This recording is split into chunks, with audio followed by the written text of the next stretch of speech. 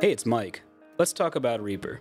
In this episode, I'll show you how to create a web interface to control the transport and your mix controls in Reaper. Let's take a look. We'll start by clicking on Options, going to Preferences, then going to the Control OSC Web tab. If you followed my last tutorial, you may already have an entry listed here from creating a personal monitor mix for a performer. If you've not seen that video, click the link above for details. We'll click on Add, and for Control Surface mode, choose Web Browser Interface. If you do already have another instance of a web control interface listed here, be sure to choose a different port. I typically just increment the ports by one number. My existing interface is using port number 8080, so for this new one I'll choose port number 8081. I won't use a username or password since this is just on my local network, and for the default interface I like the fancier template. If you place a check mark on userc.reaper.fm, that URL can be used while on your local network instead of using the IP address of the computer because Reaper will automatically intercept that traffic. So I'll checkmark this and I'll give it an ID that needs to be unique from any other interfaces you have. My previous one is called drums because it's for my drum monitor, so I'll just call this one mixer.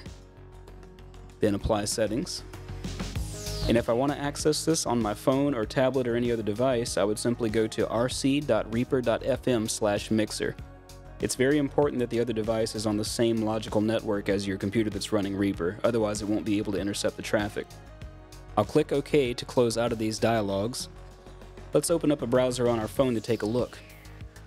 On my phone, I'll open up Chrome, and go to the URL that was given to us in the interface dialog earlier, which is rc.reaper.fm forward slash mixer.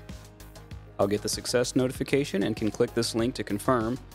And as you can see, I have a transport and the same tracks that are showing in the project on screen. If I click on any of the tracks, I get a fader, and if I move this fader on my cell phone, it also corresponds on screen. I can mute tracks, I can solo tracks, I can control the transport,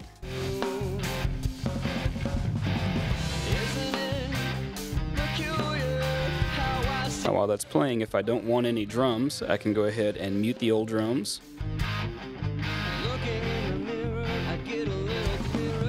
I can solo them.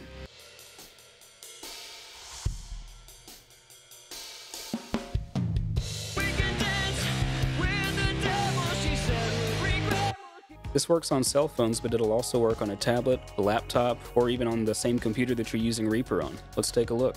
On the same computer, I will go to rc.reaper.fm forward slash mixer. I get the same success dialog like I got on my cell phone, and you can see it's rearranged itself a bit for the larger screen, but this particular template was actually meant for mobile devices, so it looks a whole lot better on the cell phone than it does on the computer. But I do still have the option. I can play, pause, stop, I can arm tracks and record. I can go to different markers and can do pretty much anything that I would want to do in Reaper. This is really helpful if you have the personal monitoring mix interface combined with it if you're going to be recording yourself away from your desk like at a drum set or in a different room. I hope this helps. If you like the content you're seeing, be sure to like, share, and subscribe. And you can also click the Buy Me a Coffee link below to support the channel financially. I like coffee.